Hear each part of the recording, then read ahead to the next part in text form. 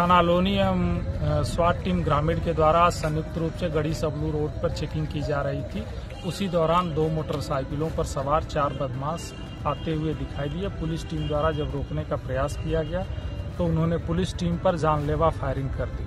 Police team ने आत्मरक्षा जवाबी फायरिंग किया, जिसमें कि एक बदमाश घायल हुआ और तीन बदमाश भागने में सफल रहे। उनकी तलाश के लिए कम्बिंग की जा रही है और जगह जगह बैरियर लगा करके इसमें उनकी तलाश किया जा रहा है।